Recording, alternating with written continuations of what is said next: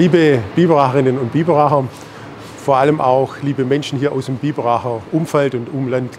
Sie sehen, wo ich bin. Ich bin hier bei der Abgabestelle in unserer Biberacher Feuerwehr und Sie sehen auch, dass hier schon allerhand an Güter da ist. Ich möchte heute einfach nur Danke sagen.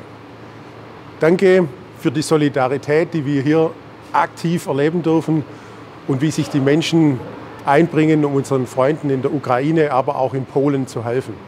Und ich sage Ihnen ehrlich, mir läuft es da mitunter eiskalt der Buckel runter.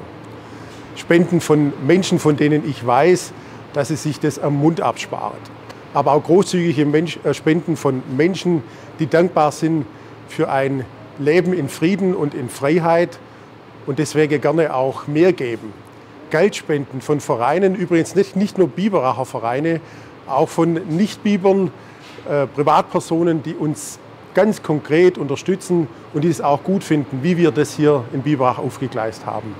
Bürgerinnen und Bürger, die binnen kürzester Zeit bereit waren, die Annahmestellen hier auch personell zu besetzen. Vielen Dank dafür. Unsere Feuerwehr, die das ganze Thema logistisch perfekt übernimmt und auch für gewaltige Sachspenden von Biberacher Unternehmen die auch hier ihren Beitrag leisten. Und da sind natürlich auch Unternehmen aus dem Umland mit dabei. Sie sehen mich alle wirklich bewegt und sehr, sehr dankbar.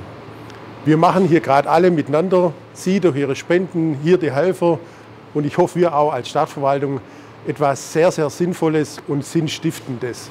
Wir schenken Hoffnung und wir schenken Mut. Und meine herzliche Bitte, bleiben wir da dran. Wir werden vermutlich in dieser Ukraine-Krise rund um diesen Krieg einen langen Atem brauchen.